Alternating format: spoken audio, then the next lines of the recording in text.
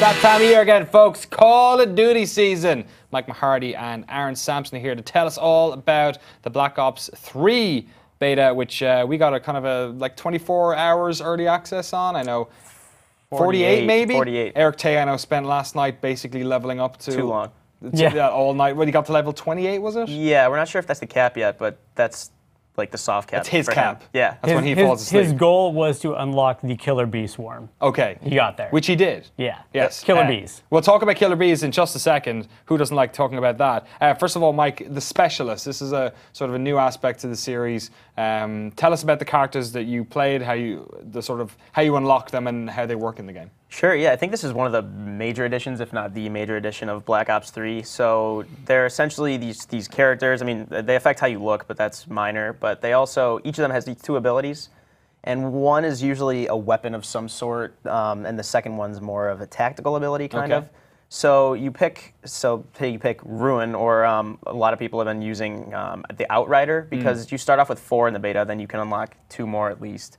Um, but there's Ruin. They're very, they, their superpowers are kind of like Destiny abilities. Right. So they have, uh, yeah, Ruin. The first one you can use, he has this um, like gravity spikes, jumping ground pound attack. Okay. Titan Smash. Titan Smash. Right, yeah, yeah, yeah. There's the Seraph, which you is the fifth unlock in the beta, and she has like the Hunter's Golden Gun, which is just one hit kills. Um, that was Okay. one of my favorites. It was like a revolver, uh, you know, the, not the highest fire rate, but it was one hit kills. So if you're accurate enough. Um, and then you know the Outrider has the Sparrow longbow, which is just explosive arrows, but they also have those secondary abilities, which the um, Outrider has this the Vision Vision sphere, Pulse? Vision Pulse, and it just for like three seconds will highlight through walls anybody in the area, Hmm. which way they're facing. Uh, it's kind of like what the spectator mode looks like if you're not playing. But Probably the most interesting one so far, though, is Prophet's Glitch. yeah, that one's awesome, and Rob got really good at it. Which you pop the ability and it rewinds your last couple of moves. Okay. So you can run into. We're still trying to like So- wrap our head around this thing, but like you can run into a room, drop a grenade, and then teleport backwards out of the room. It from- sounds like a lot like like I know it's the same company now, but Tracer from Overwatch Yeah. does Yeah, the same thing sure. where you're able to like backtrack the whole way. Yeah. so at one point when I was using it, I was up kind of this elevated roof. I sprinted down. Someone came around a corner. I used it, and I ended up back on the roof and then sniped them. what actually really happened is I missed, and someone else killed me. But I like to imagine I sniped them. But um, and then Rob was around a corner. I was right behind him when we were playing on the same team. Hmm. Someone was shooting at him. He used it to go back to where we were, and I kind of killed the person. Sweet. So every once in a while, that creates some pretty awesome like holy shit moments. So it worked really well. But yeah, the specialist class in general, these powers, you know, they have like charge times and there's certain perks that decrease those charge times. Hmm. They really do affect how you build your classes, like what weapons you use, um, how you tailor it to your play style. Um, Hmm. So are you are you always playing as a specialist? Is that basically what you do when you yeah, so you in? always have uh, at least one ability active. You uh, you can only be one specialist at a time, and you can only have one of their uh, options active. So I right believe here's they also longbow. talked about how certain modes even limit the number of certain specialists. right. Yeah, the draft, specialist draft, will it be? Or is that like an, so? Yeah, people can.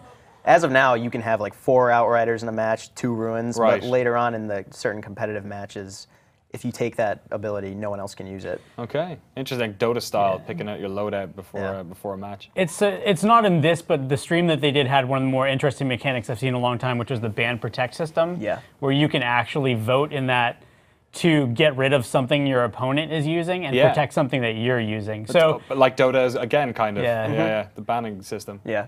That's weird. It's- Um, so- so when you're playing the game, do you at a distance know who you're fighting? Like, can you figure out who the other specialist is Sure. by looking at them? Because presumably, Yeah. knowing what they can do is key to killing them, right? Exactly. Yeah. So I don't know if people have noticed a few times during this gameplay, um, the gun will just start. You'll start glowing red, and that means that the outrider just used their uh, vision pulse ability. Right. So they know exactly where you are. So whenever I saw that, I was like, I'm either about to die, but I'm going to try to make a break for it because they are always going to have the upper hand on me. Hmm. Um, when you know when Prophet uses glitch and goes backwards, I kind of look for where they came from to be expecting them to come through the same doorway twice in a row. So it's definitely just as useful to know how other people are going to use it, as well as how you're going to offensively use it, which is a cool dynamic. Um, as far as you know, like considering uh, other people's moves as opposed to your own.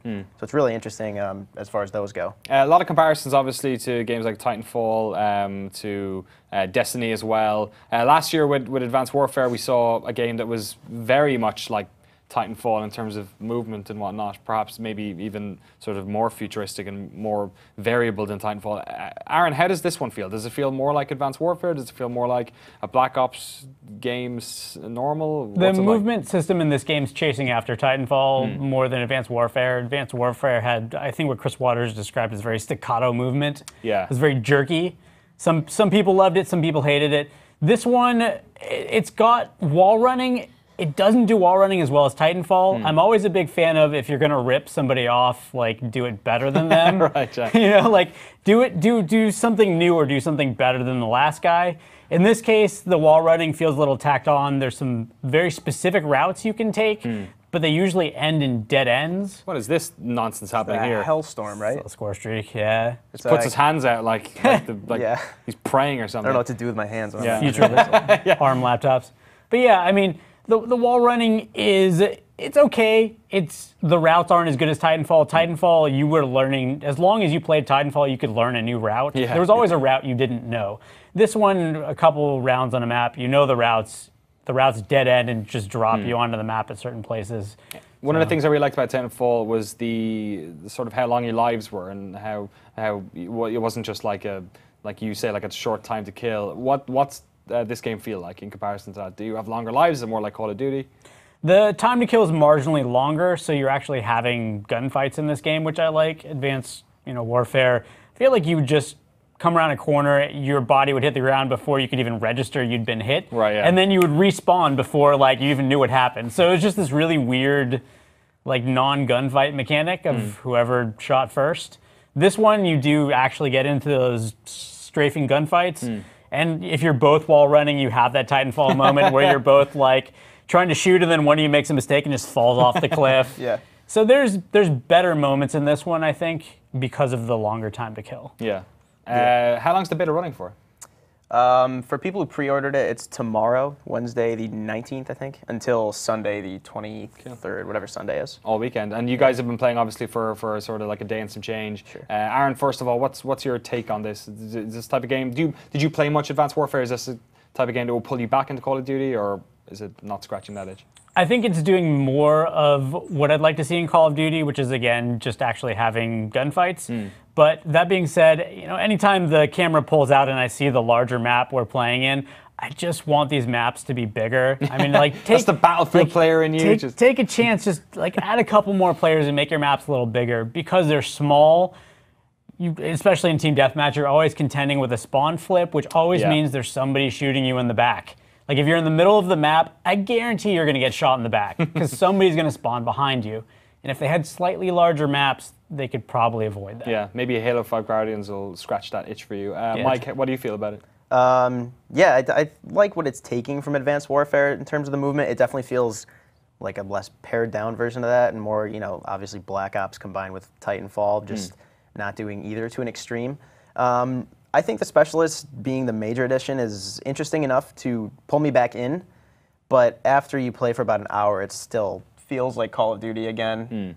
The last eight we've played, um, it's got me hooked. I won't lie. And it's so hard to like try and figure out how those systems are working when you're playing like the first two days of an Yeah. online shooter because like two weeks down the road it's like a completely different ball game. right? Yeah, and so the fact that there are so few people playing when we were playing, it was kind of always team deathmatch. Right. So I was looking forward to trying out hardcore mode to see how different weapon loadouts would work and how different abilities would work.